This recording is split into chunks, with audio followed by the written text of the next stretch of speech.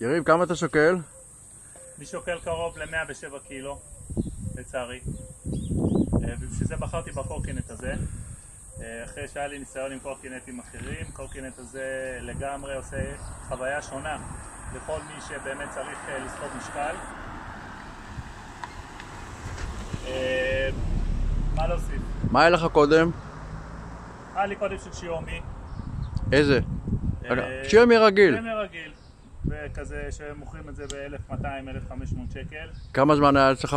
כמה חודשים, התפרק לו הכידון וזה מאוד מאוד מסוכן והחלטתי שהפעם אני משקיע במכשיר שישרת אותי לאורך זמן.